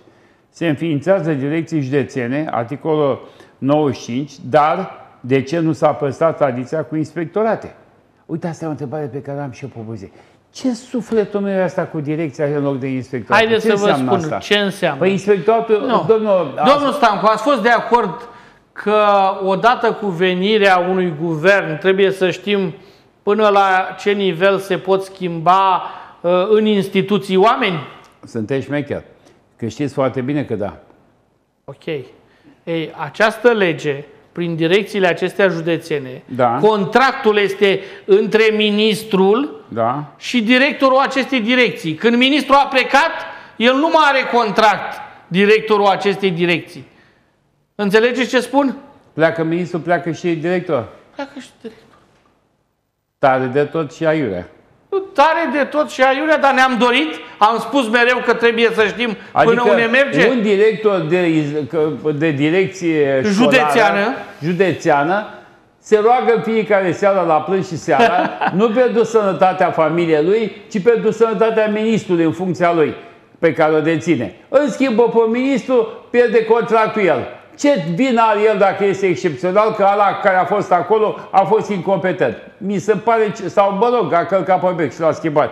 E absurd ce îmi spuneți. Eu v-am spus A, ce prevede. Dom'le, eu am zis altceva. Că nu am Pe zis de asta. altă parte- Eu am zis că în momentul când vine o putere, de exemplu, PNL-ul e la putere, PNL-ul să aibă voie să schimbe Până la un un- anumit nivel. până la un anumit nivel. Dar nu dacă ministrul pică individual. Că acum, din ce înțeleg eu, este că dacă ministrul este. pleacă Da. să schimbe... Contractul de management este între ministru PNL. și directorul direcției respective. Doamne, Maica, domne, să-mi fac cruce. Dar mie n-am. mi se pare de bun simț, să La știți. Iurea. Aiurea. Păi eu dacă eu am făcut un contract cu dumneavoastră, eu îl pun pe următorul dacă care schimb, vine după mine dacă să schimb, respecte un contract domnul, creat între mine și dumneavoastră? Cât am eu la dispoziție să pot să desfășor contractul la bune condiții, să îndeplinesc tot ce e scris în el, în condiții în care un ministru, de exemplu, într-un an, într-un portofoliu, se schimbă de două ori sau de trei ori. Păi este inadmisibil în, asta. În, în ultimii, în ultimii șase ani cred că s-au schimbat 8 ministri. La educație, în șase ani s-au schimbat 8 ministri. Deci schimbăm 8 inspectori uh, șefi, dar nu mai Păi nu e neapărat că următorul ministru poate să facă contract de management tot cu tine. Dacă vrea. Sigur, dacă Dacă vrea, dacă nu vrea, dacă nu vrea. Deci uite deja o hibă pe care o Balga a reținut-o foarte bine. Și de ce nu se mai numesc inspectorate și vin... Uh... Pentru că, practic, nu, nu se mai ocupă de tot ceea ce se ocupau înainte. Deci, v-am spus, nu se mai ocupă de inspecția tematică. Și ia uitați ce pățește de... director. Trebuie să fii prost acum să mai fie... Doamna Blânzan, vedeți-vă de treabă, domn. Ia uite ce spune aici. Directorul unității, da, direcția județeană, este asistat în decizii de Comisia Calității și Comisia de Dezvoltare Didactică, la articolul 799. Păi răspunde a lui nu că se diluează. Că unul din ăștia sunt doi la unul. El e unul și ăștia sunt doi. ce e asta, domnule? Scrie articolul 99. Directorul unității este asistat în decizie de Comisia Calității și Comisia de Dezvoltare Didactică. Ce valoare mare directorul ăsta că știe că un imbel din Comisia de Calitate îi dă peste mână. nu e chiar așa. Dar cum, e mai rău? Păi nu. Păi Drept. mai da. Nu, domnul Stam. Uh, nu poți să-ți asumi deciziile de capul tău. Până acum, aceste decizii erau stabilite în consiliile de administrație ale inspectoratelor școlare. Da. Acum, uh, decizia este luată la nivel de direcție județeană prin consultarea celor despre care dumneavoastră ați, ați uh, da. vorbit. Nu consultarea este... Bun. Uh, în uh, lege sunt folosiți mereu niște uh, termeni improprii. De exemplu, guvernanța, articolul 151. Pe guvernanța este confundată cu administrația. Bă, dar limba română noi știm. Deci nu spunem administrația, guvernanța, pot să mă gândesc la guvernare, la orice. Nu este guvern acolo, unde decizia este transferată la bază. Guvernul așa este. Marga are perfectă dreptate. Aici are dreptate. Da. Mare de tot. Zice, se vrea școală bună, care este caracterizată prin starea de bine. Starea de bine dobândită prin cunoaștere, articolul 160. Băi, cine sunt tembele ăștia care au făcut astfel de, de lucrare? Stare de bine în literatură, în poezie, în ce vreți voi. Aici lucrurile sunt concrete, sunt aplicate.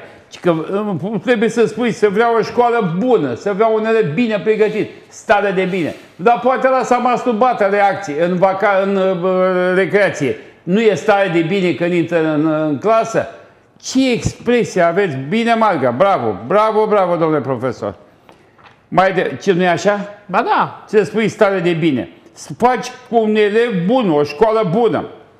Și ăsta spune, zice, că numai atât, adică numai stare de bine standardele profesionale sau altceva decât criterii profesionale?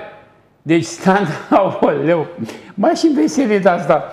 Stare de bine. Facem legea ca să fie o stare de bine. Bine, fraților. Dar asta cu să trăiți bine... E pus între crezut, ghilimele. Nu e în ghilimele, este pus... El a predat-o între ghilimele, e pus în lege acolo. Vreau o stare de bine și așa scrie. Uh, să trăiți bine este o formulă pe care a folosit-o Hitler cu Goebbels dar ea este de pe vremea Imperiului Roman. Vă dați seama? De pe vremea Onero. Foarte tare. Te duci de istorie, citești un pic, că așa cum nu credeam să văd, am mânit uh, vreodată, este un vers super, poate cel mai frumos verb al literaturii române de Mihai Eminescu, de la Seneca, care spunea, învață să mori. Și ăsta l-a tradus foarte mișto. Învață să mori. Aici, starea de bine nu merge. Domnul cine a Socut. Hai să mai spune că începe să-mi placă Marga tot mai mult. Zice, sunt uh, și în proiectul lege învățământul superior, sunt multe soluții vetuste, dar nu chiar eronate, care vor genera statul pe loc. Zice, Ministerul Educației consultă în decizii Consiliul Rectorilor, sindicate, studenți, autorități. Păi, Păi, depinde ce Își fel mai de... asumă răspunderea. Când Depinde ce domnule, a fel de zis decizii. electorul, E domnule. normal să, să consulți, domnul Stancu. Stați un pic, una e consultația că vreau eu, dar sunt ministru. Și dacă sunt ministru, mă impun. Că altfel, dacă nu vrea domnul rector Pui Georgescu, că nu vrea el, că are un interes să nu vrea că e unul arestat și unul urmează să fie, da, și el a închetat, dau un exemplu care nu-i corespunde realitatea, dacă se aseamănă cu realitatea, e neintenționat. Și eu ca ministru ce posibilități să am? Nu vrea, domnule rector de la satul mare. Nu vrea. Universitățile pot înființa Păi mă unități de consult. învățământ universitar, ceea ce este inutil și le detunează la misiune. Preuniversitar, pardon. Deci unitățile de învățământ superior pot înființa unități de învățământ preuniversitar. Da. Nu complicarea organizației. Păi și acum au, au, au, uh, domnul Stancu, ce nu știe domnul, pentru că... Marga și nici eu. Pentru că e clar că na, nu a fost interesat poate de așa ceva. Există și acum entități de învățământ preuniversitar în cadrul universităților și aici mă refer la școlile postliceale. Există școli postliceala- postliceale în cadrul universităților. Ceea ce nu cred că deranjează cu ceva pe cineva anume. Ba da. De ce? Mai de, de chichi. Mai Păi, departe. domnul Stancu, Domnul, atunci atunci, când atunci vorbim dăm de- niște puteri sporite. Dacă ești universitate, fă pentru numele Dumnezeu universitatea ta foarte bună. Nu te ocupa dacă vezi că nu o iei, nu lua ca pe o afacere. Păi, tocmai- Ia-o ca pe o influență, ca pe o, o posibilitate de influență a stării de bine din cultura românească, din învățământul românesc. tocmai stabilirea unor standarde, tocmai stabilirea... Desfințează facultatea de, meto- de, dau un exemplu, de sudură și înființează un liceu profesional. Poftim? Păi avem liceu profesional. De ce, să, dacă ele funcționează pe două legi diferite, de ce dai voie pe legea educației două sisteme diferite, două, Pentru a- să, să, să pentru, amestece a, în alta? pentru a putea Și o avea șco- acces Da? la Face- infrastructură, Aha. Fie universitatea la infrastructura liceului, fie a, liceul la, infra, la infrastructura Adică mâine până universității. liceul profesional face o filială a Universității Dunărea de Jos la Sudură. Dau un exemplu, că m-am luat cu Sudura. face un consorțiu. Un consorțiu uh, face. Așa. Păi, nici Și, și... așa. și ce face acolo? Nu știu, eu știu că el Păi face. Dunărea de jos îi duce pe viitorii ingineri în sudură Da. la liceul respectiv unde are tot ceea ce înseamnă aparatură necesară. Domnul, Inginerul vede cum lucrează un uh, uh, elev de la profesională și vede ce tip de sudură aplică și explică, domnule, cam așa ar trebui totuși să arate, cam asta e tehnologia și vede dacă ingine, viitorul inginer poate să dea indicații uh, viitorului sudor în ceea ce privește uh, munca pe care el o desfășoară Da. și a stabili o calitate superioară Astea sunt niște lucrului cuvinte generale, valabile, pretențioase, prețioase, frumoase. În realitate lucrurile sunt clare. Dom'le, dacă eu vreau să fac o treabă și sunt a- atribuit prin lege și prin talent și prin cunoștințele mele, nu mă duc să fac altă treabă. Punct. Dacă sunt atât de prost încât nu mai am studenți la anumite, le închid, dau profesor afară, nu-mi schimbe. La un moment dat o să ajunge că, să știți că nu e aceeași treabă cu pășunatul cu creșterea găinilor. Deși sunt tot în agricultură. Dar pășunatul oilor e una și creșterea găinilor e alta. Nu le amestecăm, nu băgăm găinile printre oi să le calci în picioare acolo Eu, în eu staul. doar v-am explicat, Am mi-ați explicat, n-am înțeles și spun și unde eu ar punctul meu de putea vedere. să se facă această lipire și întâlnire Ia vedeți. între viitorul inginer și viitorul Am înțeles. sudor. Politicile de etică universitară și de ontologie aplicate la articolul 11 nu mai sunt ca până acum apanajul Ministerului, sunt plasate prin proiectul legii la universități, ceea ce creează o confuzie, spune domnul Marga. Și anume, codul de etică universitară și de ontologie profesională este trecut la universități, articolul 14, și se pune articolul 158 pe urmă universității, ceea ce făcea Ministerul prin CNATDCU. Foarte Uh, bine. Uh, nu. De ce nu? Depinde foarte Domnul mult. Stan, depinde haide- foarte mult de rector. Se creează o mafie Da. locală de moare lumea. Foarte bine. Nu ai Hai cu- să nu vă ai spun de cui ce e să te foarte bine. adresezi. Ia să Și văd. nu vreau să trecem peste subiectul Nu, că respectiv. nu trec. O ascult. Păi, domnul Stancu, dumneavoastră, ca și entitate, Mhm.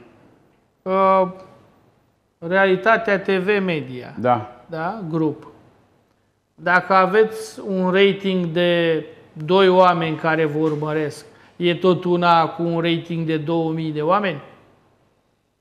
Un rating de 2000 de oameni pentru mine e o țintă mică, nu mă interesează. Ok. Pentru o universitate care își asumă toate diplomele pe care le dă. Da. Deci eu, Universitatea Dunărea de Jos, dau diplome de licență, diplome de doctorat, di- diplome de masterat și Sunteți la marea student. lor majoritate sunt plagiate. Da. Păi, în momentul în care eu intru în acel clasament al universităților, unde voi fi eu clasat? Câți viitori absolvenți de liceu Nu înțeleg. se vor mai înscrie la mine Nu înțeleg. pentru o licență, pentru un master sau pentru un înțeleg doctorat? nimic. Vorbiți din nou de aceeași treabă. Complet diferită. Cum adică? Eu, în momentul de față, am ca universitate un regulament propriu de deontologie profesională și ce mai scrie aici, uni- și etică universitară. Corect. Dincolo de acest regulament, el era un mărit regulamentul meu, dar și regulamentul pe care îl făcea Ministerul cu atribuțiuni de control și de, de către Minister. Nu e nevoie. îi- Nu e nevoie. Lași Calitatea universității Lăsați-mă să, să și termin. nivelul Nu ei... contează calitatea universității dacă vor să o distrugă. Pot în 5 ani să distrugă o muncă de 70 de ani. Înțelegeți? Trist, trist. Păi da, e Dacă un adevărat. rector, E adevărat. dacă un rector își propune așa ceva, este foarte Nu-și propune, nu-și dă seama că o face că e prost. Și nimeni nu poate să controleze așa dacă e frică că e bine nu Există și întreabă. autonomie universitară, au Ok. dreptul să facă cum cred ei. Da, serios? Da. A, să și fure să pună la 5 lei încă două zerouri și să facă 50 de lei. Ok, dacă e așa, atunci e mișto treaba. Uh, bun, iar cu ea, bă, CNATDC-ul ăsta de la minister constata, în, era stabilit prin lege uh, în ce consta o infracțiune, de pildă ce este plagiat și că plagiatul este furt, încât orice comisie de o etică să aplice regula, uh, reglementarea. Dacă defi- infracțiunile sunt diferite univoc, cu consecința extracțiunii, inclusiv pe de atitului doctor, că și plagiatul este îndoielnic furt, comisia de la nivelul universității poate duce la capăt cazul fără contencios. Aceasta poate fi de altfel doar supapă pentru infracțiuni. Se prevede desigur neașteptată în proiectul legei că acele comisii de etică duc la îndeplinire ordinea ministrului. Etica nu ține însă de ordinea ministrului. Etica ține de cu totul altceva. Bun, conducerea universităților propune Marga, a, noi ne putem da ca amatori, eu, ca profesionist, domnul Atanasiu, punctul de vedere, spune că acum alegerea prin concurs sau prin vot universal a rectorului nu dă rezultate. Și spune că cea mai bună situație ar fi ca ale- Senatul să-și aleagă de acolo, de la ei, Senatul, pentru că sunt cei mai buni din universitate și să-și aleagă uh, președintele de Senat care va fi distinct rector, dar să fie ales rectorul. Părerea mea Nu este pot să-l contrazic, s-ar putea să aibă dreptate. S-ar putea să aibă dreptate, dar părerea mea este că nu e nimic perfect. Indiferent ce a spune acum că mai bine e votul, că mai bine e concursul și că mai bine Nici eu este nu știu, numirea nici să- ministrului, da. este foarte greu de găsit. Nu poți să știi un om până nu-i pus la, la legi primar și habar n-ai după aia ce se poate uh, transforma uh, el. Iar uh, alegerile pot fi și ele manipulate, pot fi, în fine. Ia să vedem ce am mai zis și ne apropiem de final. Dar spre final că mai sunt câte? 10 minute, nu? Nu știu. La, nu, că nu pe dumneavoastră vă întreb, pe colegul meu. 5 minute mai sunt. Bun. În toată povestea asta de lege, unde este studentul și elevul partener? Toate activitățile care se desfășoară în cadrul celor două despre care am vorbit, adică școală și universitate. Nu există articol de lege în care să nu fie prezent elevul respectiv studentul. În aceste 5 minute ultime pe care mi le-a zis colegul meu din regie, Ionuț, că le avem, Eu vă rog să faceți dumneavoastră un comentariu cum vi se pare legea și ce credeți că e obligatoriu, prefectibil sau ce nu. Ar trebui votată cu mici amendamente, ar trebui votată cu amendamente mai multe, ar trebui, nu știu. Părerea dumneavoastră despre ea. Uh, legea sau o să pornesc de la ideea că cu toții suntem de acord că este necesară o nouă lege a educației. Că legea aceasta, că proiectul acesta de lege nu este perfect, sunt total de acord. Că este perfectibil, iarăși sunt total de acord. Pe lângă uh, ceea ce v-am spus mai devreme, adică propunerea pe care o voi avea uh, către domnul uh, ministru, către cei care au scris această lege vis-a-vis -vis de numărul, de procentul de elevi care vor fi admiși în colegiile naționale prin examenul de evaluare națională, o să propun și ca profesorii din palate și din cluburile sportive să poată renunța oricând la calitatea de antrenor, respectiv de profesor din Palatul Copilului și să-și poată regăsi o catedră sau o normă didactică în sistemul de masă. Fără a mai da acest termen de 2 sau de 5 ani până la care pot opta pentru învățământul de masă sau palate și cluburi sportive. Sigur că nu o să fie singurele două modificări pe care uh, mi le doresc a fi trecute în viitoarea lege.